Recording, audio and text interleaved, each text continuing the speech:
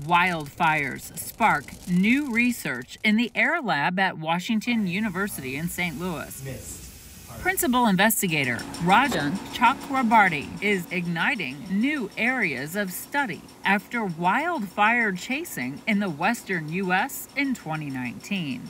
This is Ground Zero. Sponsored by NASA and NOAA, 45 days we were camping out of a mobile laboratory packed up with all sorts of instruments to study the physical properties, the optical properties of the smoke which was being emitted from the fires and similar instruments were also packed in the aircraft and then this was further synchronized with the satellites. That study was the starting point of our discoveries which unfolded. Now, the Aerosol Interdisciplinary Research Lab, called the Air Lab, is taking its new discoveries about wildfires to a new level into the stratosphere. He focused on wildfire emissions of black carbon and the lab's new discoveries about organic dark brown carbon particles that enhance the absorption of sunlight and warm the atmosphere. So, these particles, once they get emitted into the stratosphere, could cause enhanced warming. In the stratosphere, the lifetime of these particles is up to six months. With the intensity of the threat of light absorbing particles or climate heaters in the stratosphere, the team is interested in the idea of arming the stratosphere with particles that instead reflect light for a cooling effect. It would offset global warming from other causes too. Those aerosols are tested with specialized equipment.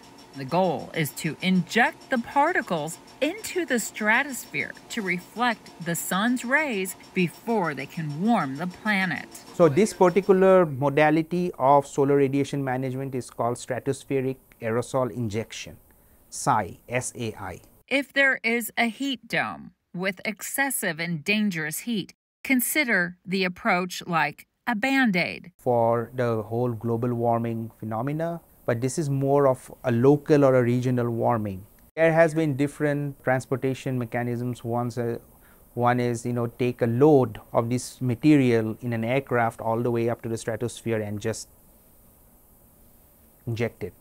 Chakrabarty and his collaborators explore stratospheric aerosol injection with a $1.5 million grant from the Simons Foundation International.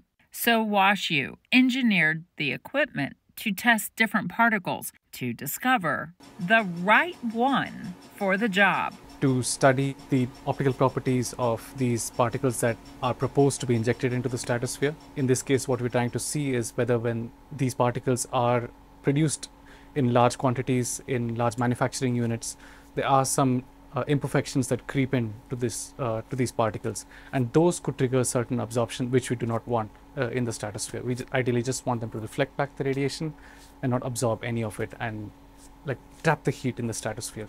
All starting with a database of optical and chemical properties of the most promising aerosol candidates for the mission. What this shaking and the clean air going through the flask does is it suspends the, uh, the particles into the, the airstream and then those are sent to some conditioning units where we make sure that the particles are they're not the particles are not too large they don't have any extra charge because that is the sort of thing that can affect the measurements which we're trying to make which is of uh, the optical properties the final decision of whether it's a good candidate or not would be made through climate modeling studies our atmosphere is one giant chemical reactor and we are just trying to only get a handle on a small piece of it injection is to prevent the spread of a disease. So, here the disease is rising temperatures and so what you are trying to inject are small mirrors which are reflecting sunlight such that you know the temperature of the earth cool you know comes down. It's more of a band-aid solution. It's more of trying to stop its symptoms from showing up until we find a permanent solution